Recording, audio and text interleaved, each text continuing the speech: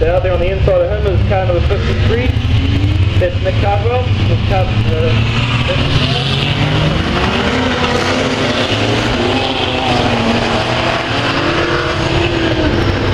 and out there in the back at the moment is Wilson and Brandy Super already making a move and it's going to be a